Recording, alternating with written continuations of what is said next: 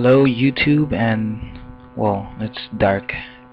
Well today I will be um, showing you the most basic things you have to know with redstone in order to do more advanced things. So I actually had a setup here pre-built.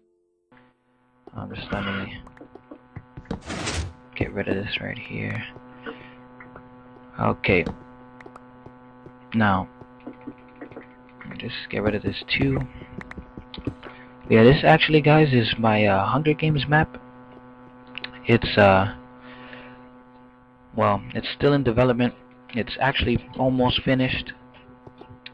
Um, I will be you know hosting a mat like matches and servers or whatever so that you guys can you know play and whatnot but it's gonna be really good. I'm trying to make it as close as I can to the uh, ones on the PC. That's why it actually has taken me a while. But anyway, let's get down to the uh, redstone stuff. So, okay, what you see here is an one of the most basic uh, logic gates with redstone, and that is an inverter. And the reason why it's called an inverter is because it inverts the uh, pretty much think of it like this. It inverts the switch. Right now the switch is actually off but the piston is turned on. And when I turn the piston on it, it turns off. And it, this right here is the inverter which is inverting that switch so that the piston stays on when it's when the switch is off. So just to show you the comparison real quick um, let me just place some redstone here and here you go. So you see? One piston is retracted and the other one is not. And the both both of the switches are off. When you turn the switch on well I think a little bit of lag there. There we go. Uh, when you turn the switch on it retracts. When you turn this switch on it D well it just opens up. Um, that's because it's a straight current. There's no inverter or anything at all. So it just the power just goes straight to it. And you might be wondering now like what is the purpose? They both do like you know the same thing. Just turn it off and on even though this one is inverted. Uh, but the purpose of the inverter is so for like piston doors and whatnot so that they stay open um and then yeah, pretty much so that they stay open instead of when they're in when the switch is in the off position, just so that they stay open. And over here I have an example of that. And pretty much I don't have to show you how to build this because well, you can see it.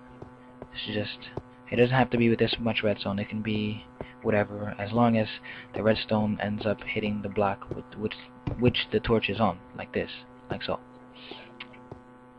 so yeah so this is the purpose this is one of the uses of the inverter um, which I destroyed earlier well some of it. So pretty much let's just just put the switch here.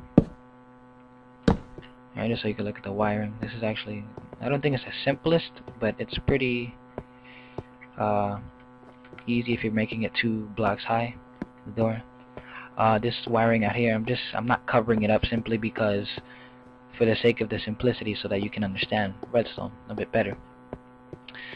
But yeah so it's a simple um, it's a bit compact it's not I think it can be made uh, more compact but that's not the purpose like I said.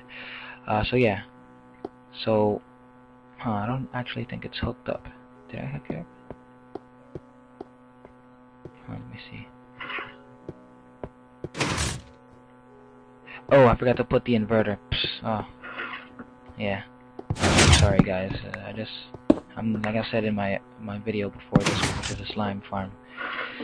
Um, I'm kind of new to this uh, commentary stuff, so I also plan on doing a guide with uh, a tutorial slash guide with all of this redstone stuff. So I'm just gonna make it more advanced as I go on, and uh, and what the uses for the logic gates are actually for.